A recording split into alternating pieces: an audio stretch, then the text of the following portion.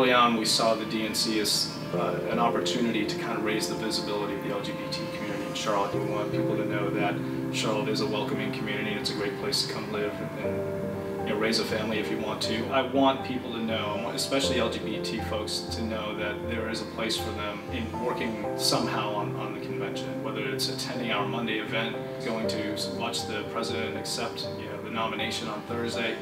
Just they need to be part of this. They need to see and, and experience it all and, and know that they're included and welcomed into